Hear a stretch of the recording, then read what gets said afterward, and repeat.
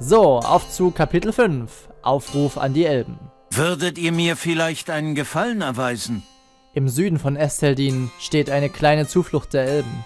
Die Elben haben viele Jahre dort gelebt. In letzter Zeit haben die meisten Elben jedoch die Lichtung verlassen. Und was noch schlimmer ist, ich habe gehört, dass diejenigen, die geblieben sind, von Steintrollen aus dem Norden vernichtet wurden. Was für ein Schicksal, dass Gildir... Entschuldigung. Was für ein Schicksal, dass Gildor Inglorion, ein Elbenherrscher aus Bruchtal, uns über die Bewegungen des Feindes unterrichten wollte, aber zu spät kam, um diejenigen zu retten, die zurückgeblieben waren. Er sollte zum Rat gebeten werden, aber ich fürchte, er wird zu sehr damit beschäftigt sein, die Lichtung und sein Volk zu schützen. Es wird eure Aufgabe sein, nach Lin Gilyath zu gehen und Gildor davon zu überzeugen, an dem Rat teilzunehmen.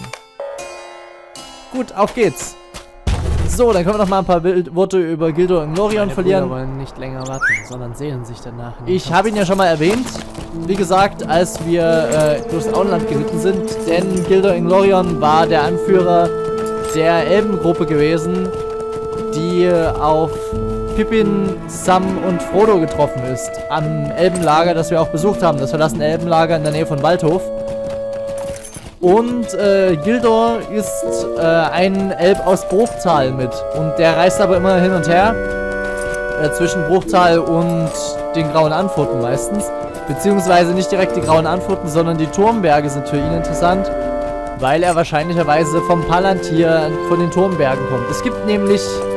Ich weiß gar nicht, ob ich das hier schon mal mit erwähnt habe in dem, äh, in dem Let's Play. Es gibt einen Palantir an den grauen Anfurten in den Turmbergen. Also wir haben...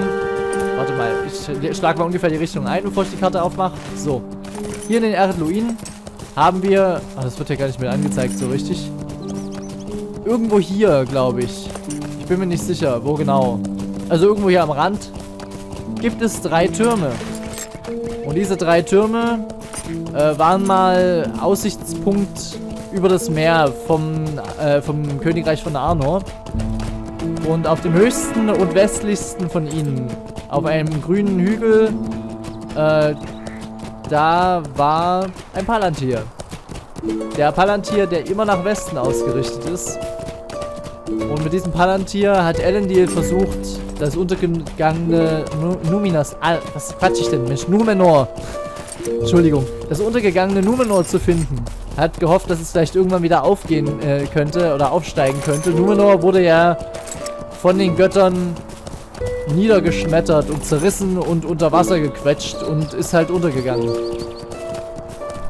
Und äh, er hat halt gehofft, dass es irgendwann wiederkommen könnte, ist es aber nicht. Ja, und man munkelt, man kann damit sogar... Ich grüße euch. Bis nach Valinor sehen. Äh, bis zum Meisterstein, bis zum Schlüsselstein, der ja, eben auf Valinor ist. Giliath nicht auf und verteidigte es bis und, zum Tod. Äh, Agladi hat nichts im Sinn als so viel Gequatsche hier, Mensch. denkt überhaupt nicht an Rache. Äh, und wenn wir unsere Vorräte nicht bald aufstocken, gibt's ja auch irgendjemanden, der nichts zu quatschen hat? lange in Lin Giliath aushalten. Das ist schrecklich. Wenn wir die Sumpfwächter da. auch jetzt noch herbeirufen könnten, wäre Lachen vielleicht ist noch nicht zu fassen. Ich habe Sag mal. mit Gildor beraten und er hat mich nachdenklich gemacht. Ja, schön. Und der Wiederaufbau Jetzt. dieser Lichtung ist hm. eine schwere Last, aber ich trage sie mit Freude. Schön, ist gut. Jetzt die Steintrolle haben die natürliche Ordnung in Meluinen. Ich glaube, die haben nicht viel zu reden hier mit anderen Leuten, oder? Dass die alle mit mir quatschen. Ich gehe mal schnell hier rein. Komm, bevor die mich noch weiter zulabern. Und da haben wir Gildo Inglorion. Wo war ich gerade? Genau, äh, der Stein, der immer nach Westen schaut. Allerdings glaube ich nicht, dass in der Zeit, in der äh, Sauron dann äh, Macht über die Palantiri hatte, dass sie dann benutzt wurden, die Palantiere.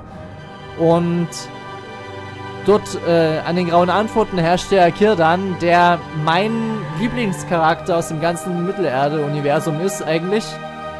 Äh, hatte ich, glaube ich, auch schon mal erwähnt. Was hast denn du für klobige Finger, Mensch? Äh, hatte ich, glaube ich, auch schon mal erwähnt. Seltsame Fingernägel auch, ne? Äh, und zwar, Kürdan ist deshalb mein Lieblingscharakter, weil er eine unglaublich schwere Last trägt. Äh, das erzähle ich aber gleich, wenn wir mit Gildo und Lorion gesprochen haben. Denn dann haben wir ein bisschen mehr Zeit zum Reden. Megovanen. Willkommen. Ich wünschte, ich könnte euch ein herzlicheres Willkommen bieten, aber für die Elben sind dunkle Zeiten angebrochen. Der Schatten des Feindes ist länger geworden. Länger, als wir vielleicht erwartet hätten. Und die Elben von Lin Giliath haben einen hohen Preis für ihre Selbstgefälligkeit bezahlt. Würdet ihr eine Minute eurer Zeit für mich opfern? Dieser Rat von Esteldin. Ich wünschte, ich könnte so mir nichts, dir nichts daran teilnehmen. Aber das ist leider nicht so einfach. Viele meines Volkes sehen sich durch das, was hier vorgefallen ist, von Kummer und Wut überwältigt. Und Lin Giliath ist auch jetzt noch nicht sicher. Unsere Kundschafter haben erzählt, dass die Orks in Nanwathren vorhaben, schon bald gegen uns vorzugehen. Die Kundschafter berichten auch, dass diese Orks von einem großen Uruk aus Angmar mit Namen Drukorth geführt werden, der in den tiefsten Ausläufern von Nanwathren lagert.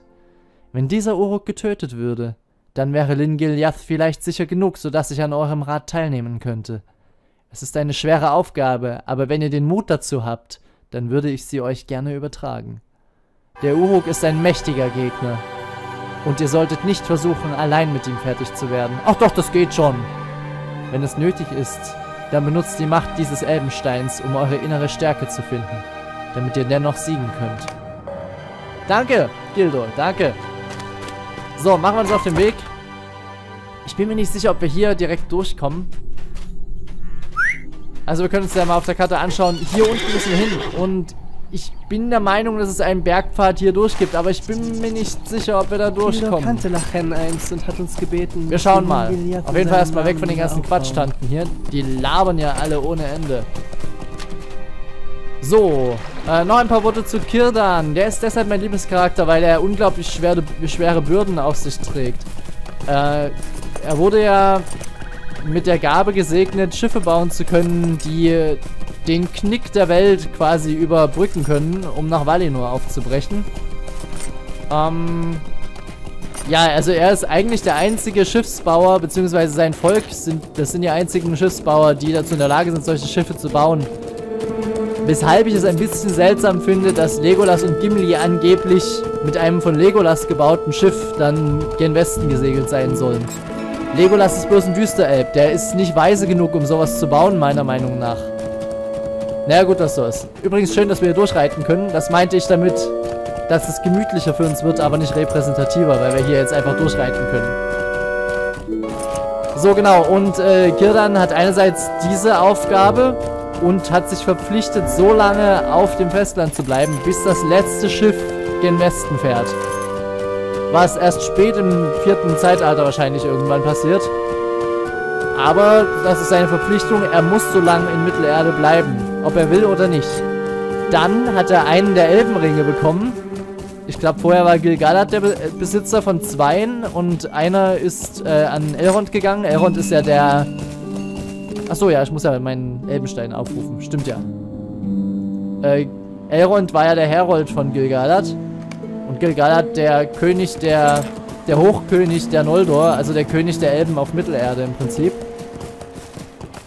Und ähm, deswegen hat er einen Stein bekommen und Kirdan hat den anderen bekommen.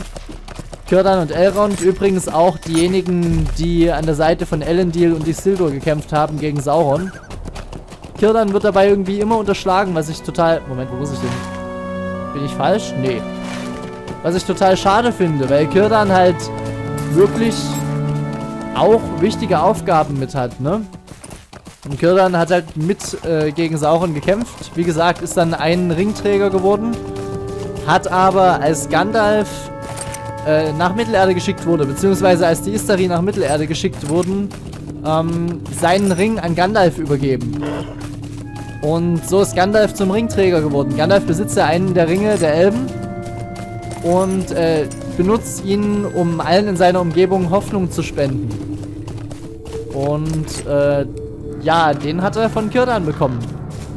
Und dann die dritte Aufgabe ist, äh, Kirdan ist der Herr über die grauen Anfurten und deshalb auch Herr über, die über den Palantir, der dort liegt.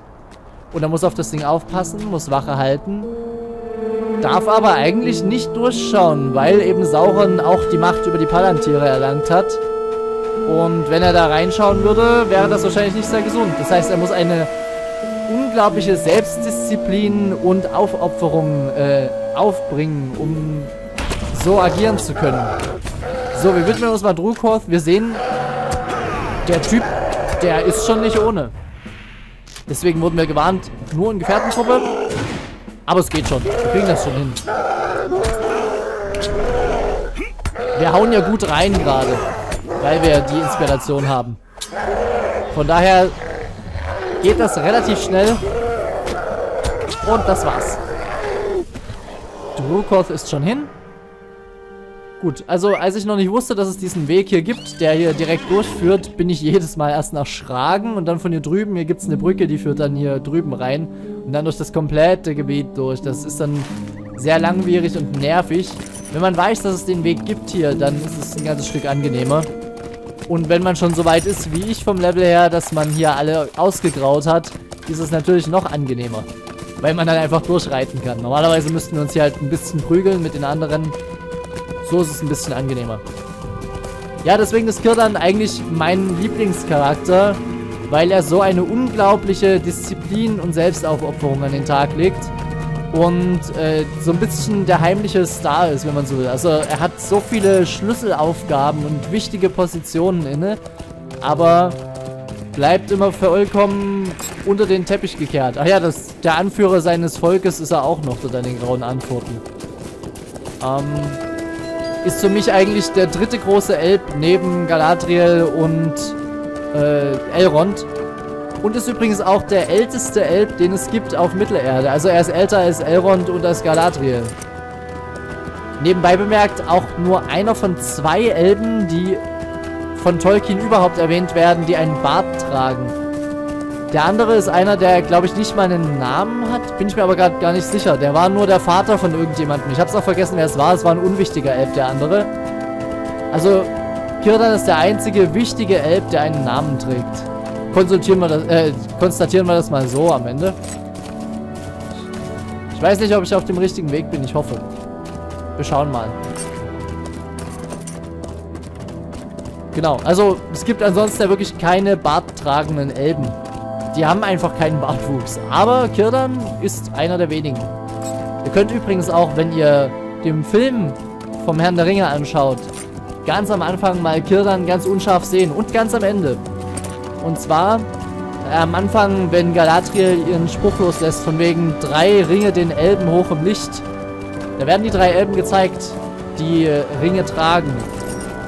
Und eigentlich ist das auch nicht ganz richtig, weil die Elben, die dort gezeigt werden, Galadriel, Gilgalad und Kirdan sind, glaube ich. Aber als Gilgalad noch gelebt hat, hat Kirdan noch keinen Ring gehabt. Weil Gilgalad zwei Elbenringe besessen hat. Er war halt der Hochkönig, ne? War halt der Boss. Und Gilgalad ist halt im Kampf gegen Sauron gefallen, genau wie es Elendil ergangen ist, dem König der Menschen. Und äh, damit sind auch die Ringe dann frei geworden. Und erst ab dem Zeitpunkt hat äh, Kirdan dann eigentlich auch einen Ring gehabt. Jedenfalls wird er dort mit ganz unscharf gezeigt und ganz am Ende auch wieder ein Fehler vom Film theoretischerweise. Ich reite übrigens gerade den falschen Weg, sehe ich gerade. Macht aber nichts. Haben wir mal eine kleine Rundreise hier mit. Beziehungsweise ich könnte eigentlich direkt in Schragen mal anbinden. Das wäre eine Idee, damit ich zumindest einmal die schnelle Reise machen kann nach Schragen. Ich glaube, das mache ich mal. Ähm, genau, dann wird er noch am Ende gezeigt vom Herrn der Ringe 3. Und zwar ist es dort so, dass Kirdan das Boot mit besteigt. Ist natürlich ein Fehler. Kirdan bleibt auf dem Festland, weil er sich verpflichtet hat, bis zum letzten Boot, das gen Westen segelt, da zu bleiben. Und äh, deswegen würde Kirdan halt auch nicht mitreisen. Aber dort steigt er mit auf das Boot. Ist er ganz klein im Hintergrund zu sehen mit. Bei der Verabschiedung an den Grauen Antworten. Und das sind die einzigen Stellen, an denen er mit zu sehen ist. Ansonsten, er wird auch überhaupt nicht erwähnt, aber er ist es auf jeden Fall. Er ist es. Hier haben wir die Brücke nach Schragen. Die werden wir später noch ein bisschen näher kennenlernen. Denn die wird noch Teil eines Quests mit werden.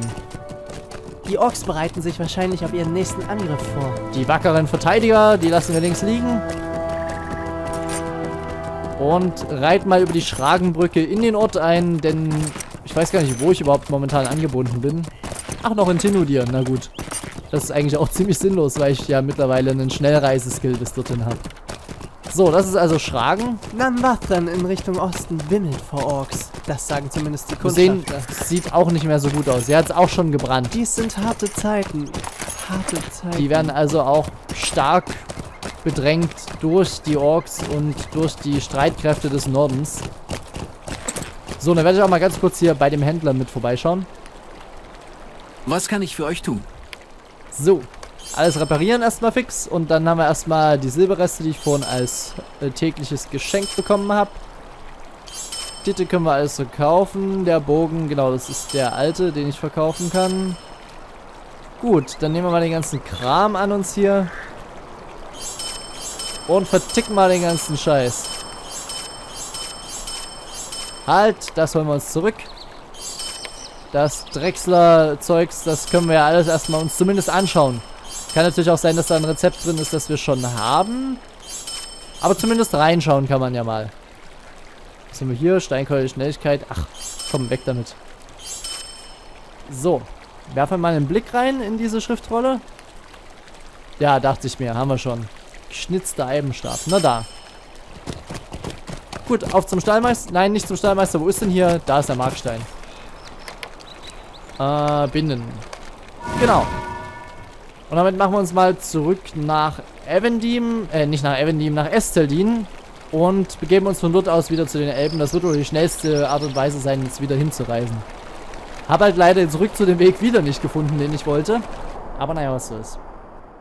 Das ist halt auch wirklich der Weg, der so ein bisschen versteckt ist. Also der naheliegendere Weg ist der, der nahe Schragen dort hinaus führt. Gut, aber macht ja nichts. Ich meine, so weit ist die Reise ja jetzt nicht. Wir müssen ja bloß bis auf die Straße vor und dann nach Süden. Und es hat den Vorteil, wir haben jetzt schon mal den Schragen mit angebunden. Das heißt, wir können zumindest einmal relativ schnell dorthin reisen. Ich glaube bloß blöderweise, dass wir zweimal nach Schragen müssen. Wenn ich mich recht entsinne. Na, wir schauen mal. Erstmal wieder querfeldein. Am Wölfchen, am Wag vorbei, meine ich natürlich. Wolf und Wag ist ja ein Unterschied. Und dann genießen wir mal die Weite der grünen Hügel. Viel ist nicht mehr zu tun, um den Rat des Nordens zusammenzurufen. Aber ein bisschen müssen wir schon noch machen. Auch die Elben sind nun auf unserer Seite. Gildor hat es ja gesagt. Übrigens, Gildor heißt Sternenherr, glaube ich. Also das Dor heißt wohl Herr. Und Gil ist auch bei Gil-galad mit drin, ist der Stern. Deswegen Sternenherr. Äh, ich glaube, Gil-galad heißt... Ach, ich bin mir nicht sicher. Ich glaube, Gil-galad heißt Sternenlicht. Genau, denn ich glaube, Galadriel hat ja auch Galad mit drin. Ich glaube, Galadriel heißt die von Licht umgrenzte oder irgendwie sowas. Mit Galadriel auch sehr interessant. Die hat eigentlich einen anderen Namen ursprünglich gehabt. Einen Namen in der Quenya-Sprache. Also es gibt zwei elbische Sprachen. Einmal Sindarin und Quenya. Quenya ist die Sprache der Noldor gewesen. Eine der drei großen Elbenfamilien. Die sind aber in Ungnade gefallen bei den Göttern. Und deswegen darf äh, kein Noldor mehr gesprochen, äh, kein Noldor sage ich schon, ja, kein Quenya mehr gesprochen werden. So uns allen. Und deswegen hat Galadriel ihren Namen einfach mal nach Sindar in die Sindarin-Sprache übersetzt. So, damit sind wir wieder hier. Inglorion übrigens, um das mit dem Namen noch vollständig zu machen, heißt einfach nur der Sohn von Inglor, glaube ich. Wie kann ich euch zu Diensten sein? Ah, ihr habt es geschafft. Wir haben das Wehklagen der Orks bis hierhin gehört. Ihr habt dafür gesorgt, dass Lingilyath wieder sicherer ist. Und dafür danke ich euch, Aigir. Habt ihr was Nützliches für mich? Nein. Und auch das wahrscheinlich nicht. Nein. Schade eigentlich. Na gut, nehmen wir die Handschuhe. Würdet ihr eine Minute eurer Zeit für mich opfern? Durch den Tod des Uruks Drukor ist die Bedrohung durch die Orks erst einmal eingedämmt. Und ich kann am Rat von Esteldin teilnehmen. Ihr solltet Halberat davon unterrichten, dass wir teilnehmen und schon in Kürze eintreffen werden. Euer mutiges Vorgehen kann sich als solide Grundlage für unsere Verteidigung erweisen. Gut, also schnell wieder zurück nach Esteldin. Übrigens äh, mit dem DH, wenn ich mich nicht ganz doll irre, wird das als stimmhaftes W ausgesprochen. Also quasi ein TH, das aber stimmhaft ist. Und das TH wird wirklich als TH ausgesprochen, also lispelnd ein sozusagen. Allerdings weiß ich bei manchen Kombinationen, bei manchen Buchstabenkombinationen auch nicht ganz sicher, wie es ausgesprochen wird. Leider ist es hier im Spiel so, dass man einen ziemlichen Fick auf die richtige Aussprache gelegt hat, wenn dann mal Sprachausgaben für irgendwelche Sachen da sind. Also gerade in den Zwischensequenzen, äh, wenn Gandalf irgendwas sagt, irgendwelche Sprüche macht, wird meistens völlig falsch dabei ausgesprochen, wenn irgendwelche elbischen Begriffe Ich befürchte, dass die Streitkräfte von Angmar bald die Nordhöhen überwältigen und danach das ganze So. Eriador. Wie kann ich euch zu Diensten sein? Das sind doppelt gute Nachrichten. Der Uruk Drukorth ist tot und die Elben werden am Rat teilnehmen? Das habt ihr sehr gut gemacht, denn durch die Macht der Elben erhalten wir wichtige Verstärkung. Ich bin euch zu tiefem Dank verpflichtet.